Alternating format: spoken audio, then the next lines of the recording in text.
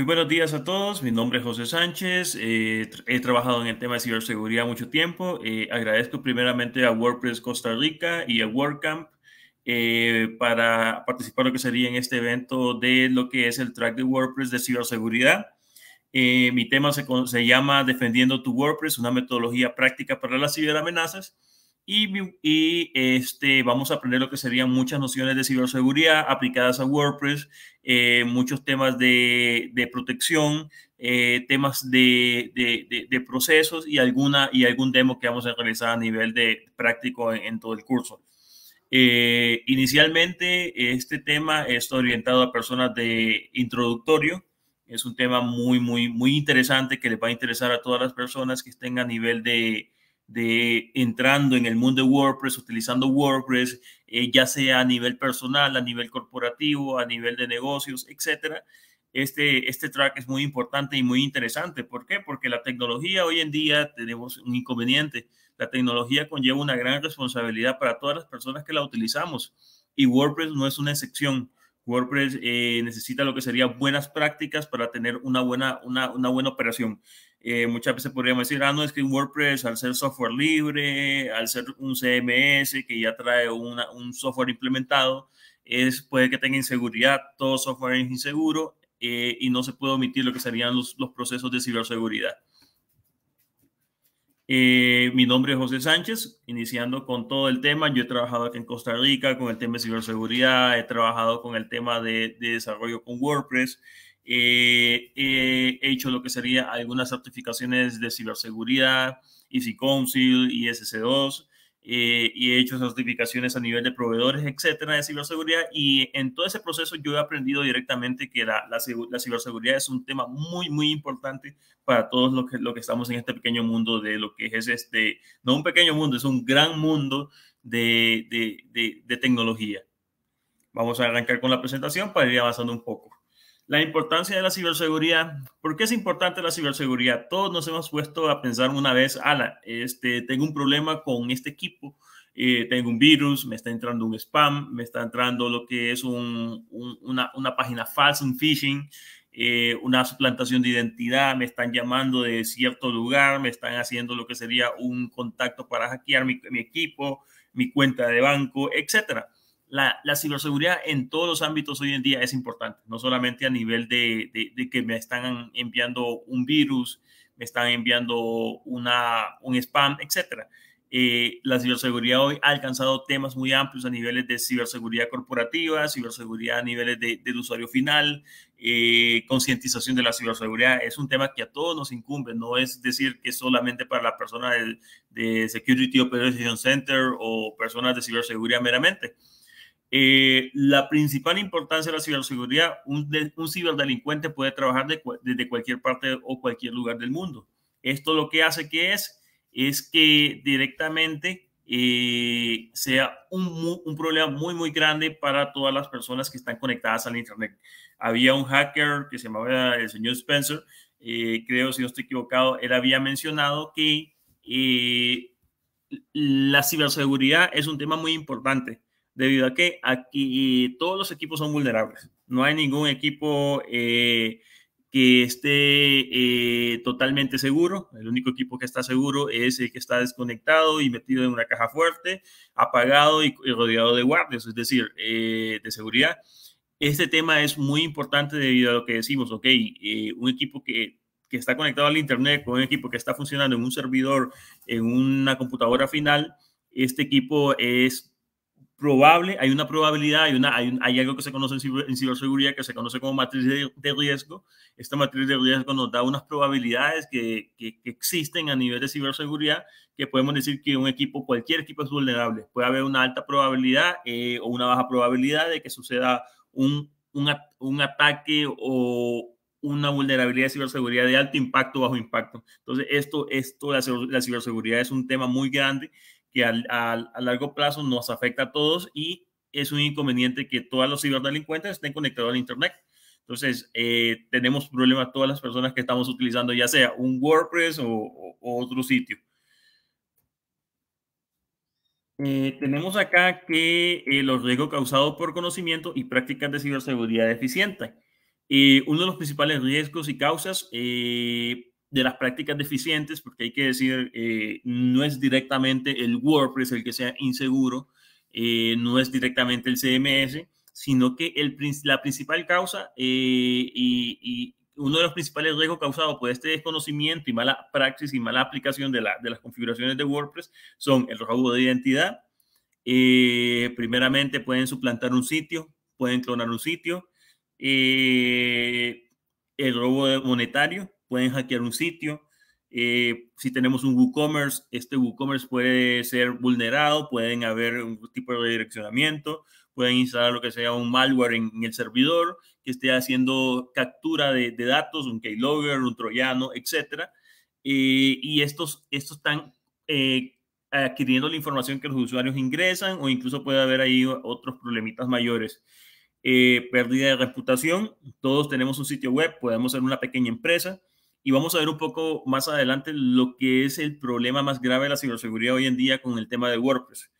Eh, que estamos viendo que hoy en día el principal problema es que directamente los ataques a WordPress, la mayoría no son a grandes empresas, eh, sino que están orientados a las pequeñas empresas y usuarios eh, finales, usuarios que utilizan eh, WordPress para ciertas cosas, blogs, etcétera, para monetización, etcétera. Y esto es un problema muy importante porque podríamos decir, Hoy en día la ciberseguridad a mí, a mí no me concierne porque yo soy un usuario final, soy una pequeña empresa, soy un pequeño negocio y al final en todo este tema grande de la ciberseguridad eh, no creo que un hacker me vaya a afectar. No, no es así. Entonces vamos a ver un poco más adelante. Eh, las ramificaciones legales, todo conlleva a un problema, la ciberseguridad, una vulnerabilidad, un ataque, todo esto conlleva lo que sería un, un, problema muy grande, eh, muy grande a nivel de tema legal. Podríamos decir que cada país tiene una legislación diferente, cada país tiene una legislación de ciberseguridad, pero todos conllevan a un riesgo de que la empresa, la organización, la persona, si no brinda un servicio, se revele información de los datos privados de los usuarios, eh, etcétera, puede conllevar a una, a una penalización o puede llevar a, a, la desactivación de la empresa, de la pequeña organización, debido a que no, no cumplió con estas políticas de protección de datos. Eh, según Sun Institute, eh, los principales vectores de vulnerabilidad disponibles para ciberdelincuentes son los navegadores web, eh, los clientes de mensajería instantánea, las aplicaciones web entre los que entran los CMS y un tema muy importante a nivel también de WordPress que se llama Knowledge Privilege, que sería el tema de no la existencia de limitantes de privilegios mínimos. Es decir, nosotros muchas veces eh, en WordPress damos acceso a lo que sería un tema de, de, WordPress. De, tal vez estamos trabajando con un grupo de, personas y a todas las personas le brindamos lo que sería el sentido de, administrador, eh, un usuario administrador a todas las personas y ese es un problema. No todas las personas cuidan la ciberseguridad como deberíamos cuidarlo todos. Estas son malas prácticas de seguridad eh, de que le demos a todas las personas un rol definido de administrador, y esto permita o conlleve lo que sería que hackeen nuestro sitio, se pueda vulnerar la contraseña, se utilicen contraseñas débiles y esto puede conllevar a muchos problemas. Eh, los costos del cibercrimen actualmente a nivel mundial son de 6, trillones eh, a nivel, a nivel de, de, año. Esto fue para el año 2001, perdón, 2021 y este, este costo eh, causó lo que sería mucho, mucho daño a nivel de las, de, la, de, la, de, las empresas, y no empresas grandes, sino también empresas pequeñas. Hackearon lo que serían bases de datos que estaban en un servidor, hackearon bases de datos de sitios web, eh, bases de datos de WooCommerce, y esto conlleva lo que sería pérdidas monetarias a niveles de meses, de, de semanas, de días, de horas, minutos y segundos. Podríamos decir que, eh, vamos a ver un poco más adelante el tema de la alta disponibilidad todo sitio tiene que tener una alta disponibilidad. WordPress necesita estar siempre, siempre disponible. Nuestro sitio WooCommerce, eh, nuestro, nuestra plataforma educativa en, en, WordPress tiene que estar trabajando también siempre alta disponibilidad. ¿Por qué? Porque eh, cuando un sitio se cae, cuando un sitio no está funcionando, eso afecta lo que sería la, la, la reputación del sitio, afecta lo que sería el ingreso monetario, si en dado caso monetizamos lo que sería nuestro sitio de WordPress, o es de una organización que, educativa, un ejemplo.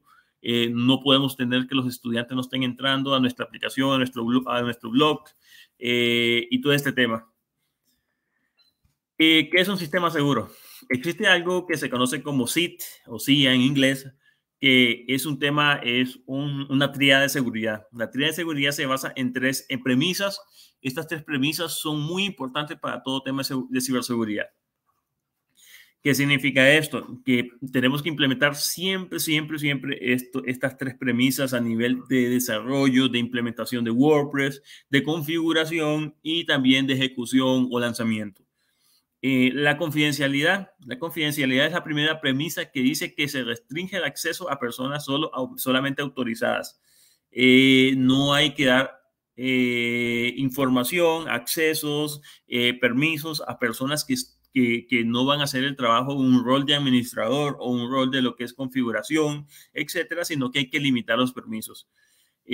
por experiencia, yo he visto que empresas de desarrollos, desarrolladores, muchos tipos de, de personas eh, le brindan a un usuario, tal vez que no va a hacer trabajos de, de, configuración de WordPress, le brindan el acceso totalmente. Y he visto problemas muchas veces. Hay personas que hacen desarrollo de WordPress a través de maquetación con drag and drop o sistemas visuales, eh, eh, ya sea Elementor, etcétera. Y esto lo que hace muchas veces la persona edita, desconfigura o a veces entra directamente a otras cosas que causan un daño al WordPress o etcétera esto se debería limitar, incluso entre las mismas empresas debería haber alcances o limitantes a nivel de, usuarios.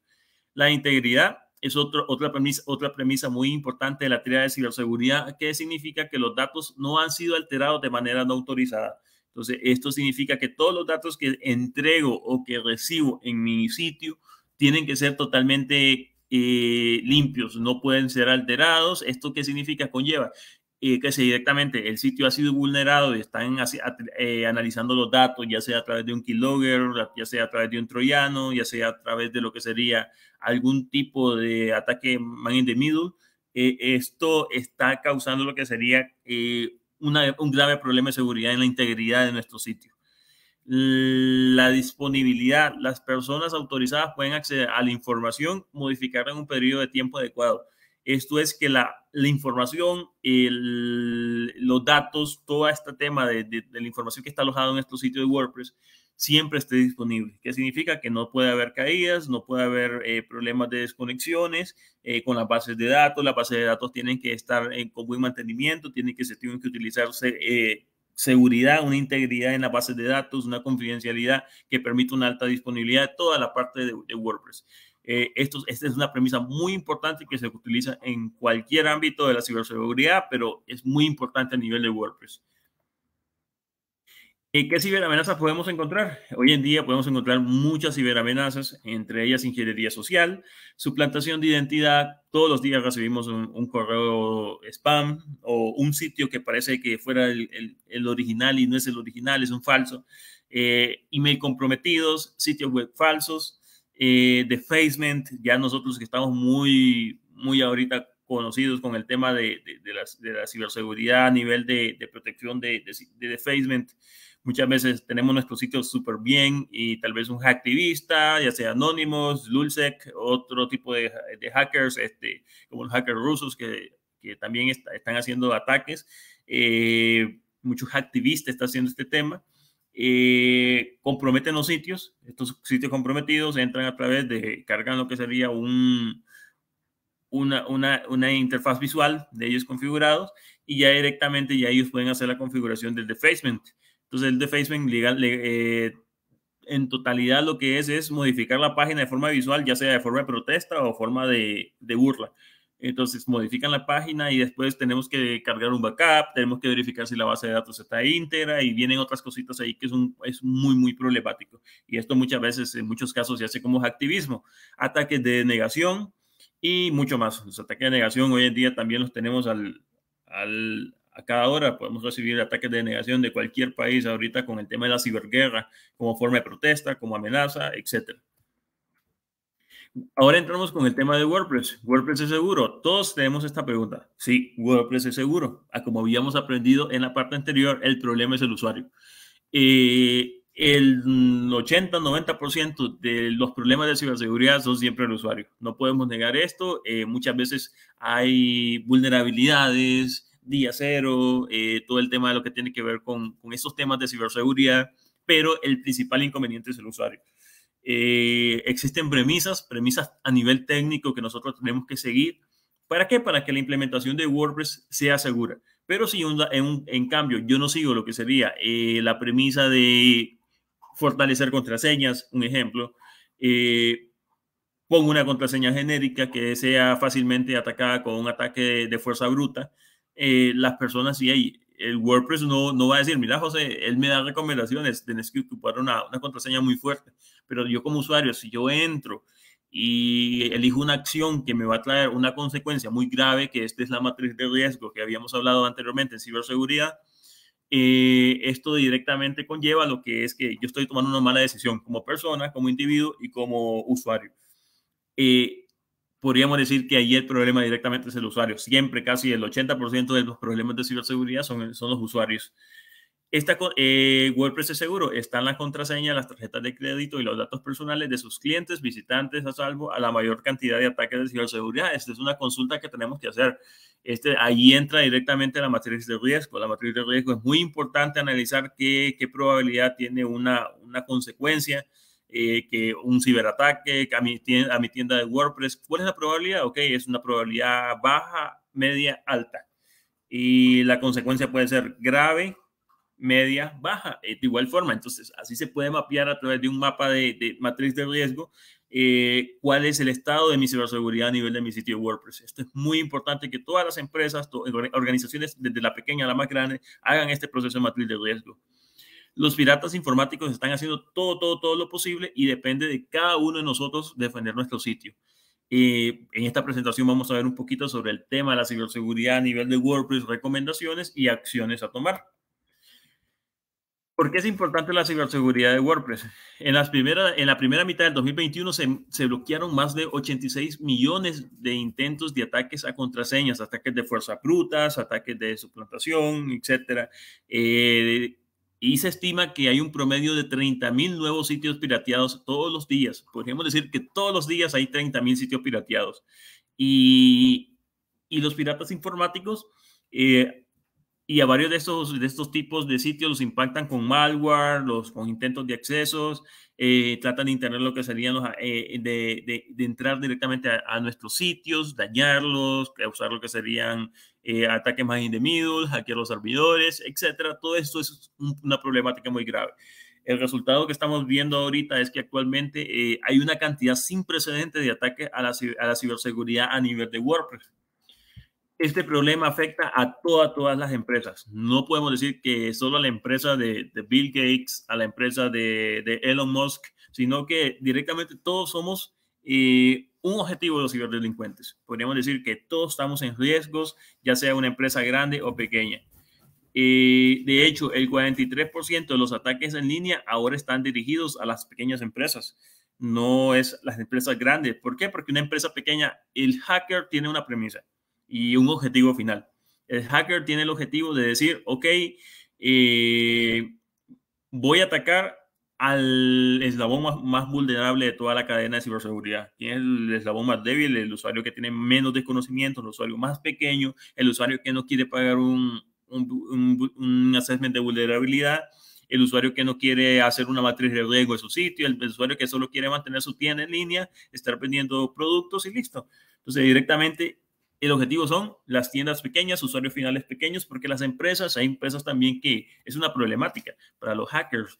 Eh, tienen implementado lo que sería un WAF de paga, tienen implementado lo que sería firewalls, tienen implementado replicaciones, backups, eh, temas de alta disponibilidad, alta redundancia, y un hacker no se va a llegar a decir, ok, hackeo el sitio y se detecta tal vez un, un hot input que tengan instalado en el servidor, y me diga, ah, ok, este, me, me, bloqueen con un IDS un IPS a nivel de, de WAF y directamente después lo que tenga que hacer es, y me tengo que echar para atrás, perdí tiempo. El hacker va a ir a enfocarse en poco tiempo. Los hackers son perezosos, habría que decirlo así. Se enfocan en usuarios que sean muy fáciles de hackear y que sean muy vulnerables para obtener poco tiempo y muchas ganancias. Ellos también ocupan algo parecido como una matriz de riesgo, sino que es una matriz de ataque. Eh, muchos piratas informáticos, eh, bueno, de hecho, el 43% de los ataques en línea ahora están dirigidos a las pequeñas empresas y solo el 14% de las empresas están preparadas para defenderse. ¿Qué significa? Que hay poco conocimiento en la ciberseguridad y este es un problema muy grave.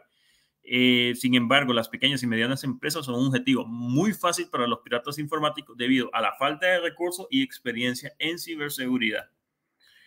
Podríamos decir que esta es una de las últimas noticias.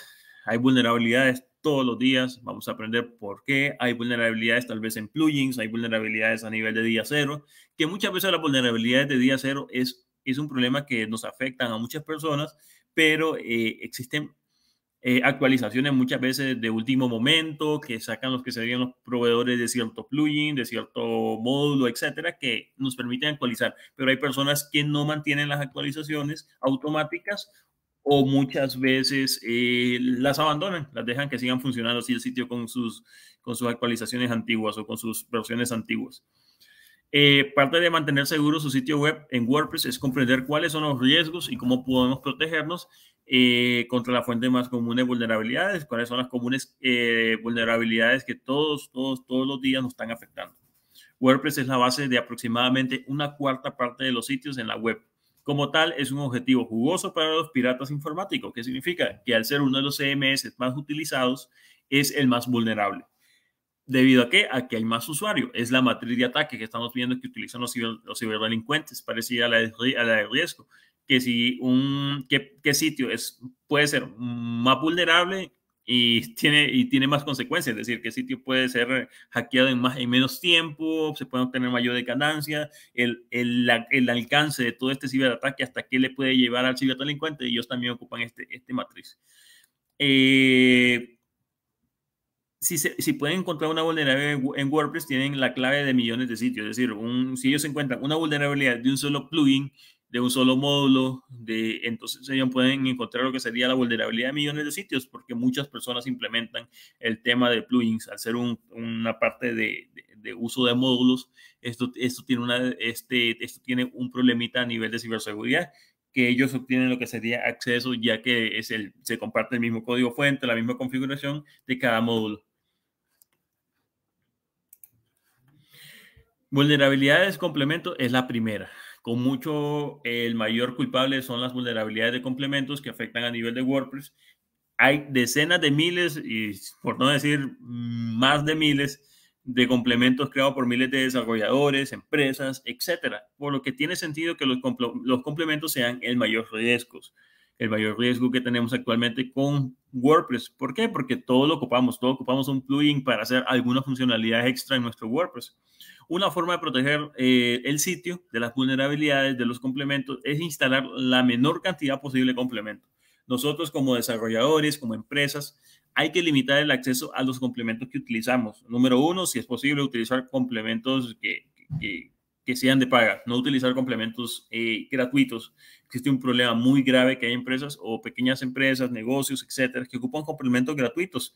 Y estos complementos gratuitos no tienen el mismo ecosistema y el mismo eh, lanzamiento de actualizaciones, se podría decir.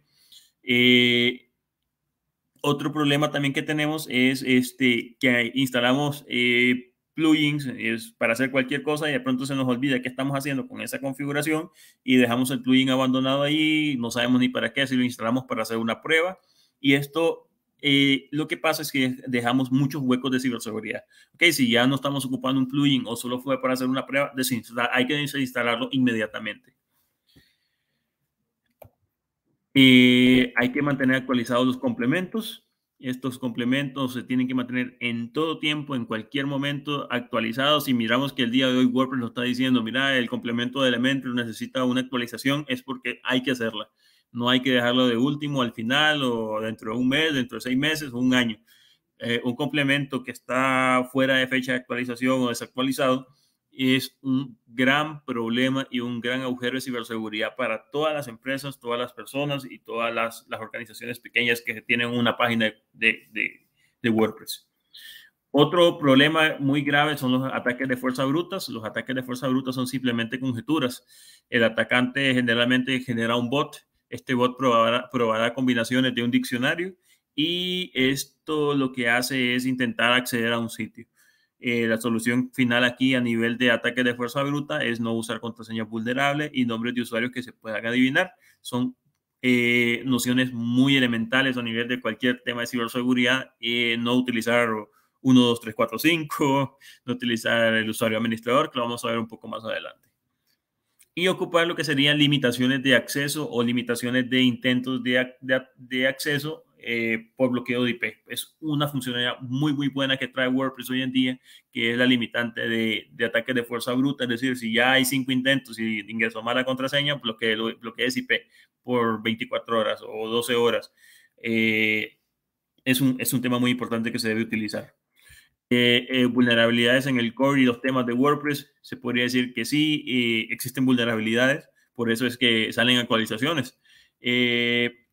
Suele, el, el, core de WordPress es muy, muy seguro, es muy seguro debido a la gran comunidad que existe, que está compartiendo información de, de problemas, eh, tal vez alguien tiene un, un, problema con el core, está presentando un inconveniente, configuración, un misconfiguration o algo parecido a eso, y al final la comunidad se pone al día en sacar lo que serían las actualizaciones y los parches. Esto es una ventaja muy, muy importante a nivel de, de, software, la parte colaborativa y, como, y la comunidad de WordPress. Eh, los desarrolladores siempre están sacando lo que serían nuevas configuraciones, nuevas actualizaciones y esto nos permite obtener lo que serían mayores recursos en temas de ciberseguridad. Eh, muchas, muchos de los ataques exitosos se basan en vulnerabilidades que se han solucionado en las versiones más recientes. ¿Qué significa? Mantenemos lo que serían nuestros WordPress o nuestros temas eh, totalmente desactualizados y esos temas conllevan a problemas de ciberseguridad debido a que tal vez fue resuelto un agujero de, ciberseguridad que estaba en esa versión.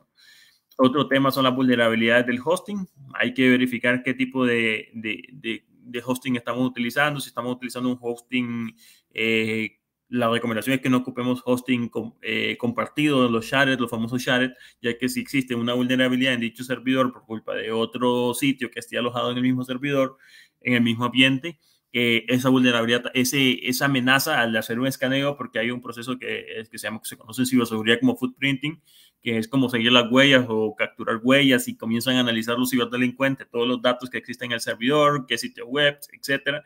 Es mejor utilizar lo que serían servidores virtuales privados o servidores aislados, que es una, una recomendación muy importante.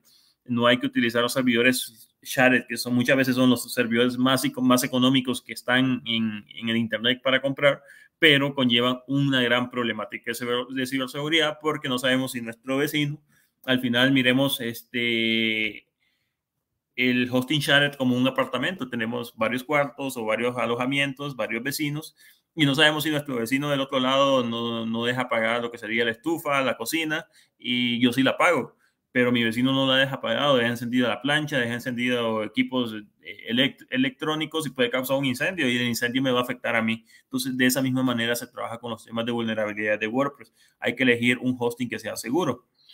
Hay que comenzar con sencillos conceptos de ciberseguridad a nivel de WordPress. Son cositas que debemos implementar ahorita, lo vamos a mostrar un poco, para reforzar la ciberseguridad en cosas básicas. Es decir, si yo no, yo no hago un cambio eh, pequeño a nivel mío, a nivel de mi implementación, a nivel de mi configuración, no voy a tener lo que serían las premisas de la, de, la, de la triada de ciberseguridad, las, la CIT. ¿Por qué? Porque yo no voy a implementar esos controles o esas premisas que me van a ayudar a mejorar.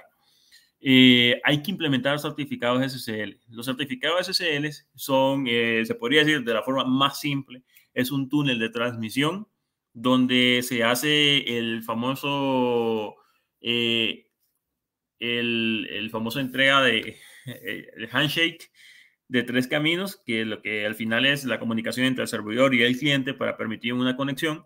Eh, y esta conexión va cifrada. Esta conexión va cifrada a través del túnel, lo que sería el SSL. Desde un punto de vista básico, eso podría decirse que es.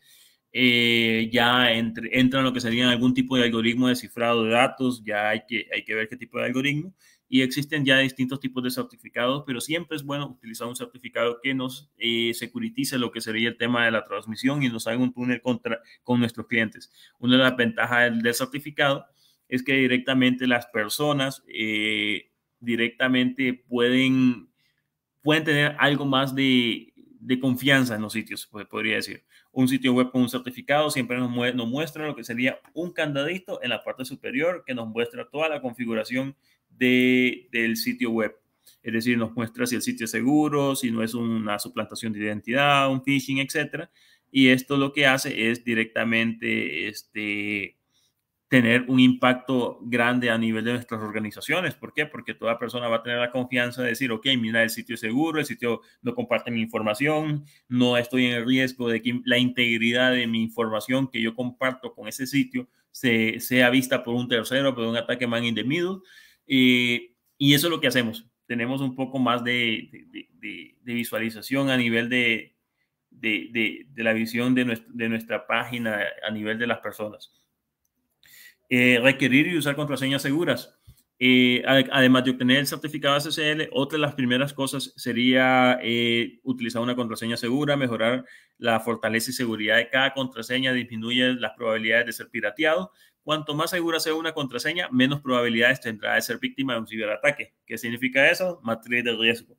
Al crear una contraseña, hay algunas mejores prácticas generales de contraseña que debe seguir y si no está seguro de, estar utilizando una contraseña lo suficientemente segura, eh, hay que utilizar una, una herramienta generadora de, contraseñas. No hay que tener vergüenza. Tal vez la contraseña que yo ocupo son contraseñas como 123 o Juan 123, el nombre de mi casa, Pepito58, el nombre el, mi nombre y mi nacimiento, mi nombre y mi fecha y mi año de nacimiento, etc. Entonces son temas que, o, son temas que al final se nos olvidan, se nos olvidan, dijimos la contraseña mucho más fácil, que es la más vulnerable porque tenemos miedo, miedo de olvidarla.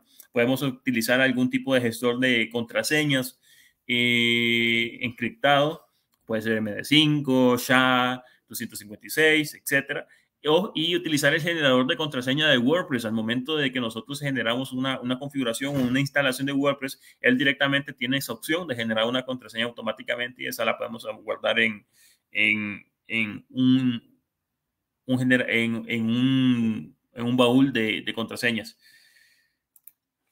Esto es una imagen hoy en día que debemos utilizar, que, que con WordPress lo tenemos siempre, que este es nuestro, nuestro nuevo generador de contraseñas que nos genera WordPress. Siempre es como un bebé que nos genera frases demasiado largas o balbuceos. Entonces, este es un tema, un tema muy realista a nivel de ciberseguridad.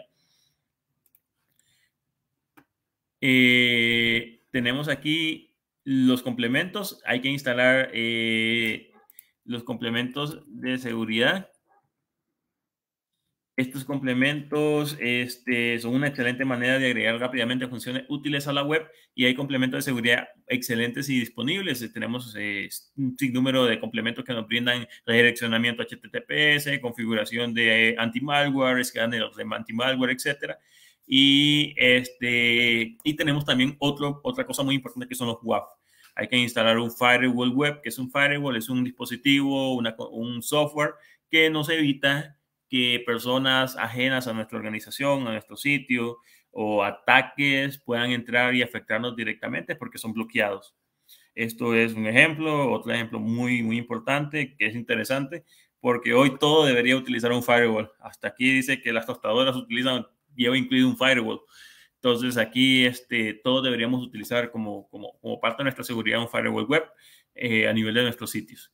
Hay que hacer copias de seguridad, siempre hay que hacer copias de seguridad. Las copias de seguridad, un sitio web puede caerse, puede tener una vulnerabilidad, puede, puede quedar con un defacement, pero siempre si tenemos una copia de seguridad, podemos restaurarla en segundos o en minutos, mientras en cambio que si no tenemos una copia de seguridad es el problema más grande que nos hemos enfrentado en nuestra vida, porque todo, todos los eh, informáticos, desarrolladores, tecnología, etcétera, deberíamos tener copias de seguridad de todas las cosas. Eh, siempre haciendo copias de seguridad de Internet. Nunca use el nombre de usuario administrador, un tema muy importante. Nunca usar la cuenta de admin de WordPress, cambiarle el nombre inmediatamente o, utilizar otra cuenta. Otra, eliminar la cuenta de administrador debido a que es uno de los principales inconvenientes en los ataques de ingeniería social y fuerza bruta. Eh, y la contraseña, igual que una contraseña segura, se, debe utilizar un nombre diferente. Hay que tomar la ciberseguridad eh, como un tema muy serio y muy de verdad.